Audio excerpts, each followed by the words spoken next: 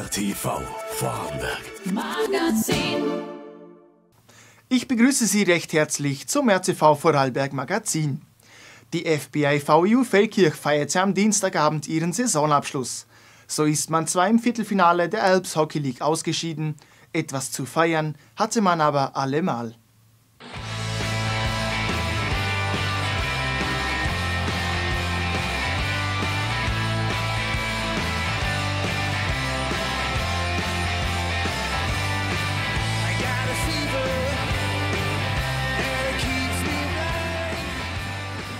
Für die FBI VU Feldkirch geht eine sportlich sehr erfolgreiche Saison zu Ende.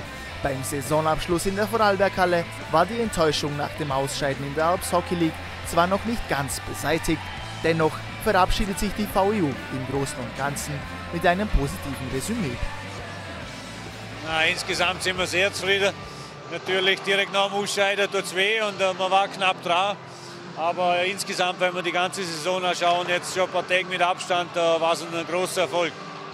Wir können schon glücklich sein, wie weit wir gekommen sind, aber natürlich wären wir noch gern weitergekommen. Also, es ist blöd, wenn wir ausgeschieden sind. Ich auch sagen, unverdient, aber im Großen und Ganzen würde ich sagen, war es eine gute Saison. Nach einer starken Viertelfinalserie gegen die Wölfe aus dem Pustertal hat es schlussendlich für die Montfortstädter jedoch nicht ganz gereicht. 2-1 geführt in der Serie, dann noch 3-2 hinter in der Serie und leider noch im sechsten Spiel im Pustertal verloren. Aber wie gesagt, jedes Spiel war eng, quasi vor Tor, dreimal über Overtime, äh, zweimal in die zweite Overtime. Also alles, was Eishockey Herz begehrt, war drinnen, leider für uns mit dem falschen Sieger. Wir wollten das natürlich noch gewinnen, wir wollten weiterkommen. Da ist natürlich die Enttäuschung noch immer, sitzt noch immer tief, aber ja, ich sage im Großen und Ganzen haben wir eine gute Saison hinter uns. Äh, wir sind jetzt mit der österreichischen Meister geworden und ja, ich denke, wir können eigentlich im Großen und Ganzen von der, von der Saison eigentlich recht zufrieden sein. Die VU ist zum zweiten Jahr in Folge österreichischer Meister in so einer Liga schon sehr erwähnenswert, oder? Ja, klar, es zeigt halt, äh, dass die Arbeit eigentlich, die hier geleistet wird, dass das eben fruchtet und wir jedes Jahr ein Team aufstellen können hier, die eben ja, um den Titel und weiter oben auch noch mitspielen können. Und ja, natürlich auf das äh, kann man schon auch sehr stolz sein da im Verein.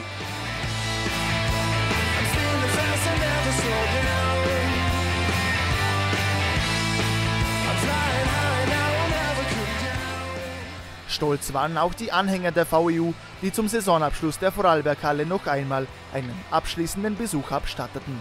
Denn zum Saisonende durften auch die ganz Kleinen zusammen mit den Stars auf dem Eis verschiedenste Skillstationen durchlaufen und sich mit den ganz Großen messen.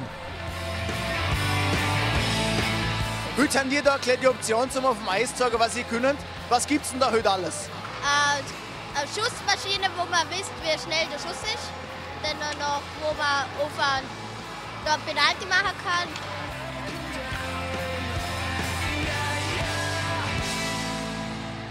Die VEU ist das ja Meister geworden. Kann man auf das stolz sein?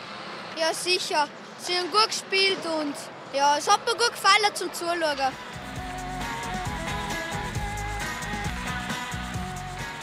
Und nicht nur der Nachwuchs hatte riesigen Spaß, auch die Profis freuten sich sichtlich über das Kommen der Fans. Ich glaube, wir sind, wenn mir richtig liegt, sind wir, haben wir die meisten Zuschauer in der ganzen Liga. Auf das sind wir stolz und sehr dankbar. Und jetzt müssen wir auch mal was zurückgehen und ich finde das sehr schön, dass wir das tun und wie viele Leute das nützen. Es ist wunderschön. Ich meine, schau mal, wie viele Kinder da herumfahren mit so viel Freude.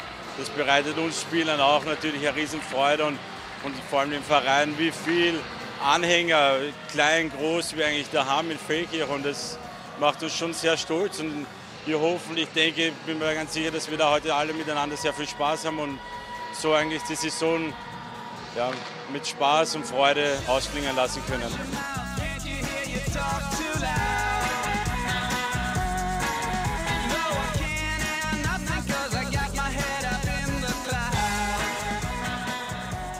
Der Ausklang der Saison war nicht nur spaßig, sondern auch emotional. Denn zusammen mit den Anhängern durfte die VEU zum großen Highlight des Tages auch den Pokal des österreichischen Meisters in die Höhe stemmen. Damit verteidigen die Montfortstädter zum zweiten Jahr in Folge diesen Titel. Und eines ist sicher, die Zukunft in der Vorarlberghalle verspricht noch so einiges.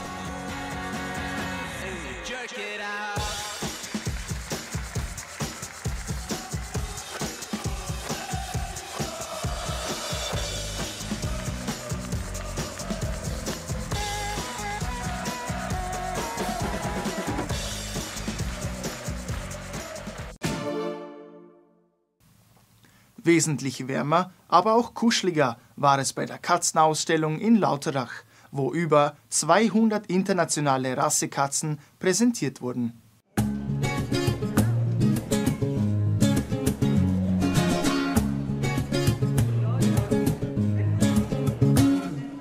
Vergangenen Osterwochenende ging es im Lauterdacher Hofsteigsaal tierisch zu, denn über 200 Rassekatzen wurden bei der internationalen Katzenausstellung präsentiert.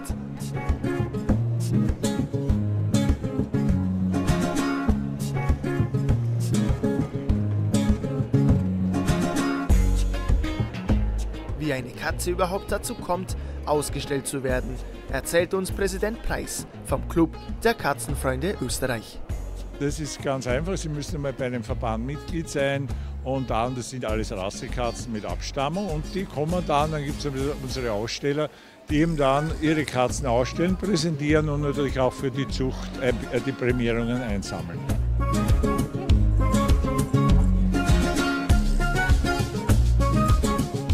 Wer die schönste und prächtigste Katze hat, wurde am Wochenende anhand von verschiedensten Kriterien entschieden. Die Katzen haben einen internationalen Standard und die Richter bewerten, wie, wie nahe eine Katze dem Standard ist. Und wenn man den Standard liest, der gibt es auch auf der Webseite zu sehen, ist es eigentlich immer wichtig, die Katze muss gesund sein, sie muss gut aussehen, sie muss einen strahlenden Pelz haben. Das heißt also, das ist ein ganz ein wichtiger Teil dieser Bewertung. Neben dem Bewertungsverfahren hat sie aber jede Katze etwas ganz Besonderes für sich. Auch die eine oder andere äußerst seltene Katzenrasse war mit dabei.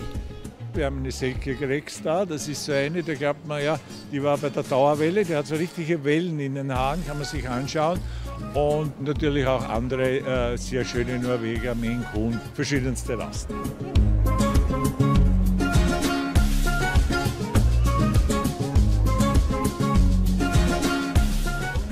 All dem Geschnurre und Gestreichle hatte Präsident Preis aber auch klare Vorschläge für all diejenigen, die an der Katzenausstellung Kritik ausübten.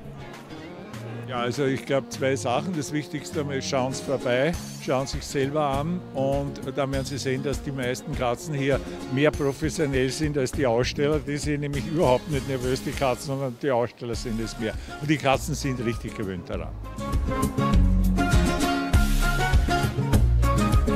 Mit gewohnter Manier und vor allem mit viel Liebe zum Tier waren am Wochenende sowohl Mensch als auch Katze mit der Situation äußerst zufrieden. Und damit war auch in diesem Jahr die Katzenausstellung ein voller Erfolg. Und auch wenn es an diesem Wochenende immer nur einen Gewinner geben konnte, wir haben uns definitiv in alle verliebt.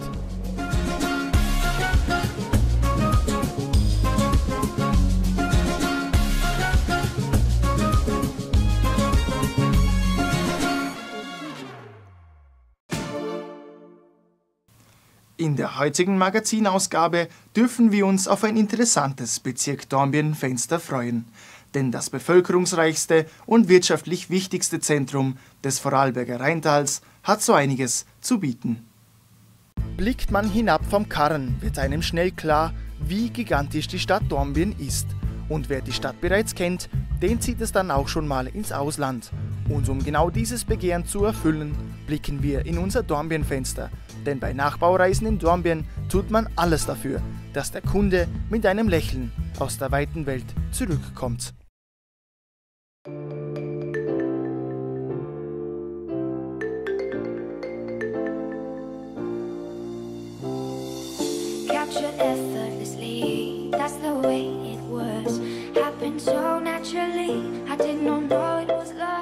Fahre in die Welt hinaus, sie ist fantastischer als jeder Traum. Und dieser Traum geht mit Hilfe von Nachbauerreisen in Dornbirn in Erfüllung.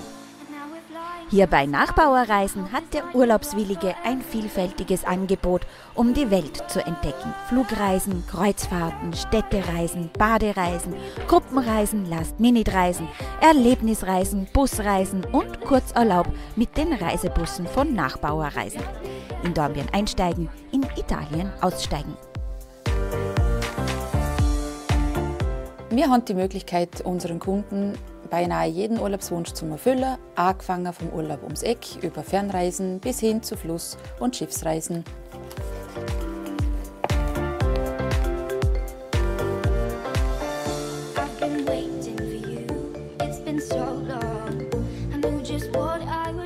Wir haben die renommierten äh, Reedereien wie der AIDA oder MSC, äh, Tui mein Schiff, was der große Vorteil ist von Kreuzfahrten, dass man relativ viel sieht. Das ist eine Kombination aus Badeurlaub und Städtereise.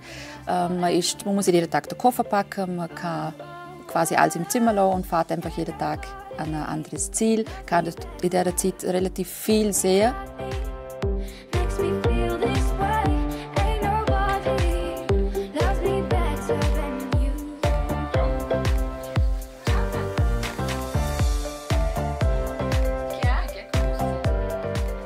Mit uns kann man mit dem eigenen Reisebus an Tarte fahren.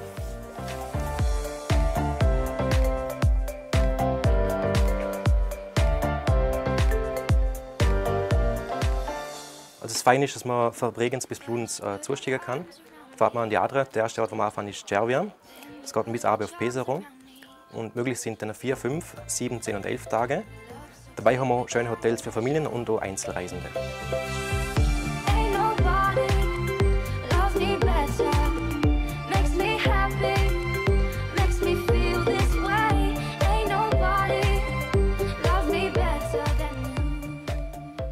Natürlich möchten Kunden auch zu zweit in Urlaub, speziell wenn man frisch verliebt ist.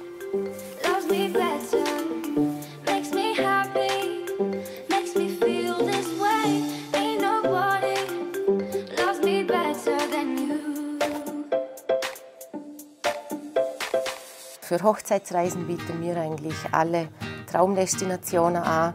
Speziell gefragt sind natürlich immer die im Indischen Ozean, wie die Malediven oder Mauritius mit, oder die Seychellen.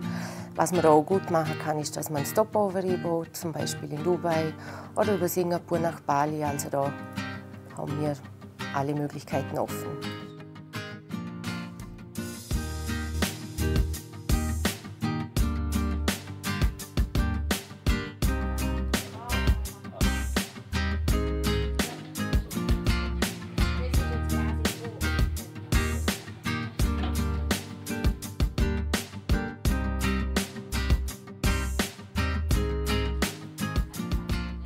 Jede Reise, die man bei Nachbauerreisen bucht, hat Qualitätsgarantie. Denn hier werden nur Reisen von bekannten Markenanbietern vermittelt. Gute persönliche Beratung ist hier selbstverständlich. Da kann das Internet nicht mithalten. Nachbauerreisen ist nämlich auch dann da, wenn tatsächlich einmal etwas mit dem Urlaub schiefgehen sollte. In guten wie in schlechten Zeiten, damit der perfekte Reisepartner. Besten Dank. Also Nachbauerreisen das ist für mich das Reisebüro schlechthin. Warum? Weil Kompetenz der Mitarbeiter für mich so ausschlaggebend sind, um die Zeiten, die ich äh, auf meiner Reise äh, verbringe, wirklich voll nutzen kann. Wenn einem die Welt offen steht, dann ist man mit Nachbauerreisen unterwegs.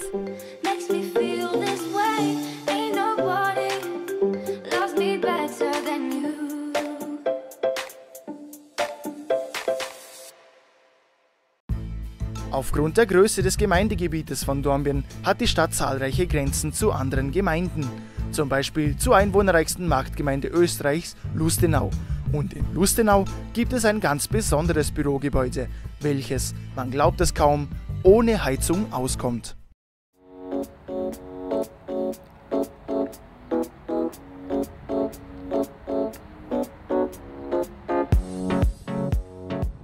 Atmosphäre statt Maschine. Ein Haus ohne Heizung und Kühlung ist der neue Firmensitz der Architekten Baumschlager Eberle im Gewerbegebiet von Lustenau. Das Gebäude 2226 kommt ohne Heizung, Kühlung und ohne Lüftungsanlage aus.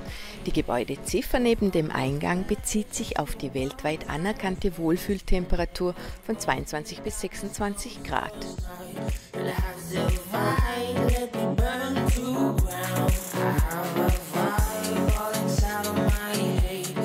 Das Wissen darum, so etwas machen zu können, das hatten wir schon in den 90er Jahren, weil wir uns so lange mit energetischen Optimierungen beschäftigt haben. Insofern war es eigentlich, ist das Gebäude ungefähr um zehn Jahre zu spät in Relation zu unserem Wissen. Der Mensch und sein Wohlempfinden standen somit im Mittelpunkt der Planung. Unserer Meinung nach ist es absolut sinnvoll, dass eigentlich ein Gebäude auf die Menschen reagiert. Das heißt, das ein, ein, Gebäude muss sich anders verhalten, wenn jetzt der Raum mit 20 Leuten belegt ist oder vielleicht einmal nur mit zwei Personen. Also, und das muss der ausschlaggebende Faktor sein.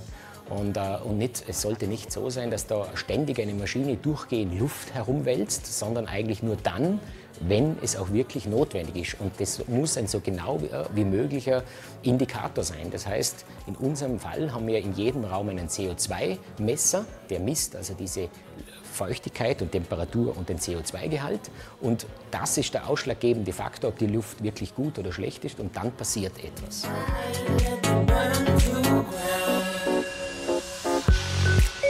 Die massive Hülle nimmt bei Tag Wärme langsam auf, speichert sie und gibt sie bei Nacht nach und nach an den Innenraum wieder ab. Menschen hinterlassen in Gebäuden vier Spuren, vier wesentliche Spuren, also physikalisch wesentliche Spuren. Einerseits ist es die Temperatur, die wir als Menschen produzieren. Zweitens ist es, dass wir äh, CO2 verbrauchen, das heißt, wir machen die Luft schlecht. Drittens schwitzen wir, transpirieren wir während eines Tages zwischen einem, einer, also wir produzieren Feuchtigkeit. Und das vierte ist, wir produzieren Bewegung. Und das, was das Gebäude macht, ist, dass es diese Spuren misst und dann sein Verhalten ausrichtet auf die Zustände, die durch das Verwenden des Gebäudes entstanden sind. Ist es zu, die Luft zu schlecht, ist sie zu feucht, äh, ist es zu kalt, ist es zu warm etc.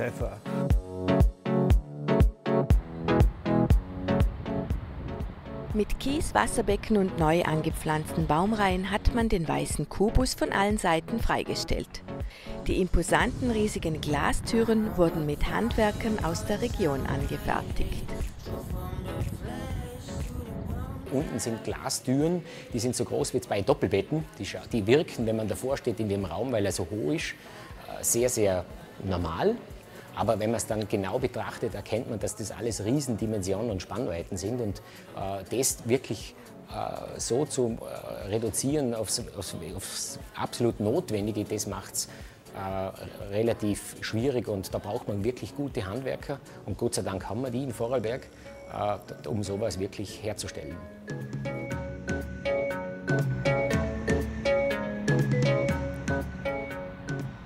Jeweils über dem zweiten und dritten Geschoss ist der Kubus ganz leicht in sich verdreht und leicht gegeneinander verschoben.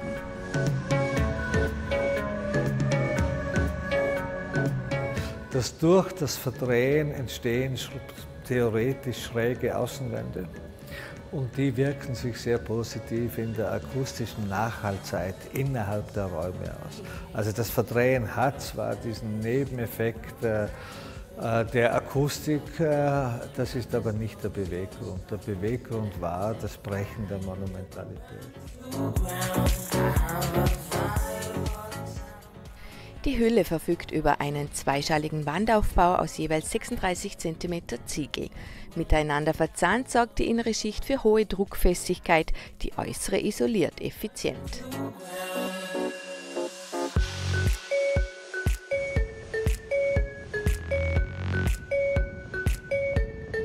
Der Ziegel hat einfach den Vorteil, dass er einerseits sehr kostengünstig ist, dass er ganz traditionelles Material ist, dass er große Vorteile hat in der Aufnahme von Feuchtigkeit, in dem Durchleiten von Temperatur. Aber natürlich kann man das auch mit anderen Materialien machen. Aber wie jede Materialentscheidung ist es eine Gesamtbeurteilung. Oder? Das ist zum Beispiel einer der großen Nachteile von Holz, dass es eben ganz wenig Wärme speichert, also relativ wenig Wärme speichert und deswegen viel schneller die Oberflächentemperatur der Umgebung, also der Raum des Raumes angeht. Lüftung und Verschattung sind durch drehbare Holzflügel in den massiven Fensterleibungen geregelt. Diese bieten je nach Sonnenstand die benötigte Verschattung, damit sich das Gebäude im Sommer nicht aufheizt. Die Lichteinstrahlung, das ist eines der ganz großen zentralen Themen in dem Haus. Und zwar, das, das hat zweierlei Effekte. Einerseits hat es den Effekt, dass es natürlich, äh, wir müssen darauf schauen, speziell im Sommer, dass das Licht nicht zu viel an ist, weil das produziert uns natürlich wieder Temperatur, das für uns ungünstig ist. Das heißt, wir haben da Fensterformate äh, dimensioniert, die dafür sorgen, dass möglichst viel Licht, Tageslicht, so tief wie möglich in das Haus hineinfällt. Also das heißt, wir haben mit 24 Meter Gebäude Tiefe müssen wir also das Licht Minimum 12 Meter tief hereinbringen. Und das, das, klingt einfach, ist aber relativ schwierig. Und da muss man eigentlich schauen, dass man möglichst Materialien verwendet, die hell und leicht reflektieren, um wirklich viel Tageslicht hineinzubringen. Auf der anderen Seite herum ist es aber so, wenn, wenn ich jetzt zum Beispiel große Verglasungen machen würde, dann kommt natürlich sehr viel solare Temperatur ins Gebäude herein, was wiederum schlecht ist. Das heißt, das ist der Grund, warum das Fenster innenbündig angeschlagen ist, damit möglichst eine hohe Eigenverschattung durch die tiefe Leibung zustande kommt. Die windmühlenflügelartig angelegten massiven Innenwände begrenzen zwei Treppenhäuser, die sanitären Anlagen und einen wirklich winzigen Technikraum.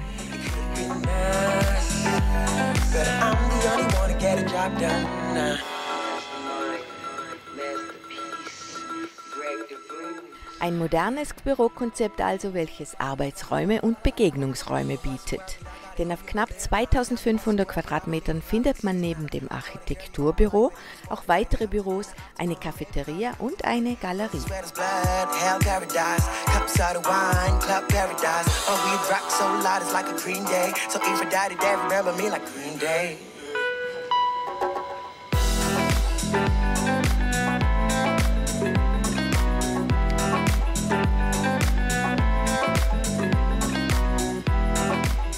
Die Ausstattung der Cafeteria sowie einige Büromöbel passen in ihrer Robustheit entsprechend gut zur Architektur.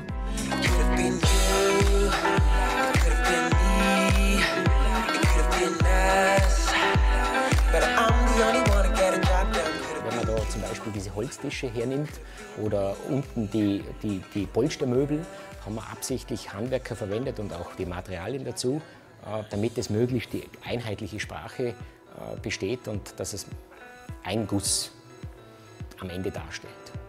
All diese Materialien kommen eigentlich aus, aus dieser Region tatsächlich her. Also als Beispiel dieser Naturstein, dieser Sandstein, wo wir da draußen haben als Fensterbänke, der kommt aus Rorschach. Äh, das ist eigentlich der nächste Steinbruch, den es von da aus tatsächlich gibt.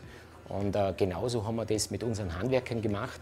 Wir haben nicht Handwerkern äh, von irgendwoher daher transportiert und die von Materialien mitbringen, die von der anderen Seite vom Planeten kommen, sondern wir haben tatsächlich auf Regionales geachtet. Die imposanten riesigen silbernen Lampenschirme mit knallroten Reflexionsflächen innen stammen vom Designer Ingo Maurer. Aber wie wohl fühlen sich die Menschen hier im Bürohaus 2226? Und in unserem Gebäude ist es so, dass sehr viele Leute sich wundern, warum ist es da herin so angenehm und größtenteils liegt es eigentlich daran, an der Luftfeuchtigkeit. Also dieser, die, die Luftfeuchtigkeit, die wir da herin haben, ist höher als eigentlich normal. Also sprich, also meistens über 45 Prozent. Und das führt eigentlich dazu, dass sich eigentlich Leute sehr wohl fühlen. Leider bin ich viel zu wenig hier. Aber wenn ich hier bin, äh, fühle ich mich sowohl an meinem Arbeitsplatz, allerdings auch bei den Mitarbeitern, zu denen ich mich oft setze, sehr wohl. Da stellt sich natürlich die Frage, ob wir nicht alle unsere Bauten zukünftig nach diesem wegweisenden und guten Vorbild ausrichten sollten. Wenn es nach uns gehen würde, dann, dann wäre das der richtige Satz dazu. Ähm, wir, wär, wir sind auch dran aktuell, äh, dass wir versuchen, dieses Konzept äh, weiterzuentwickeln und weiterzubringen. Aber nicht nur im, im, im, Wohnungsbau, also im Bürobau, sondern auch im Wohnungsbau. Äh, weil es ist schon sehr beachtlich, wenn man bei uns zum Beispiel eine Etage anschaut, wo, wo, wirklich gar niemand sich aufhält und die Temperatur trotzdem irgendwie bei 19 Grad sich einpendelt. Und wenn man dann erkennt, um sich wohlzufühlen, braucht es dann wirklich nur noch ein paar einzelne Grad, um das zu erwärmen. Grundsätzlich trifft das Haus eben sehr viele Erwartungen und Bedürfnisse, die ganz latent bei vielen Beteiligten vorhanden sind, nämlich danach, dass Dinge selbstverständlicher, logischer, natürlicher und auch gesünder sind. Und äh, das äh, führt auch dazu, dass wir im Moment an ungefähr sechs anderen Projekten arbeiten, wo wir diese Prinzipien übertragen auf Wohnbauten und auf Bürobauten und wo ein Teil dieser, das vielleicht wichtigste und größte Gebäude, das bereits realisiert ist, wo ein Teil dieser Prinzipien angewendet worden ist, ist die Universität Luxemburg, die über 70.000 Quadratmeter groß ist. Und diese Universität ist das erste Hochhaus in Europa, wo es keine mechanischen Lüftungen und keine Kühlungen mehr gibt. Es gibt allerdings dort noch, im Gegensatz zu hier, das, ein, eine kleine Notheizung.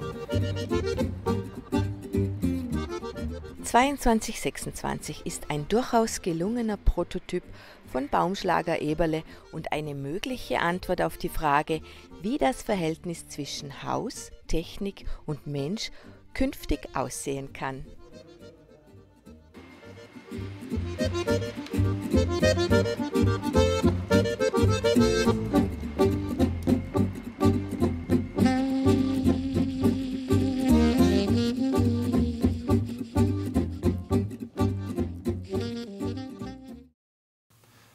Das war's vom RCV Vorarlberg Magazin.